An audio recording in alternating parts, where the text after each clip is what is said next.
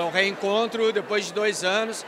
Isso aqui está propiciando a gente ter casa cheia, as pessoas alegres é, e super motivadas para estudar, para ouvir os painéis, para participar e para refletir sobre o direito do seguro. Muita coisa mudou, a gente teve que inclusive refazer painéis, né, reestruturar painéis, para que a gente traga questões contemporâneas para o debate e assim enriquecer é, o conhecimento de todos os operadores do direito que, que militam no nosso mercado.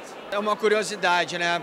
Geralmente as diretorias terminam é, em março, quando acontece o Congresso. Por força da pandemia e vários adiamentos, esse Congresso acabou sendo programado para final de abril. Então a nossa diretoria que assumiu há pouco, no dia 30 de março, já protagoniza, de certa forma, o Congresso. Mas o Congresso não é dessa diretoria, o Congresso é dessa diretoria, da diretoria do Inaldo Bezerra, lá de 2019, é do, do Zé Armando de 2020 e 2021, enfim, é uma, é uma realização da ida como um todo, ninguém faz nada sozinho, né?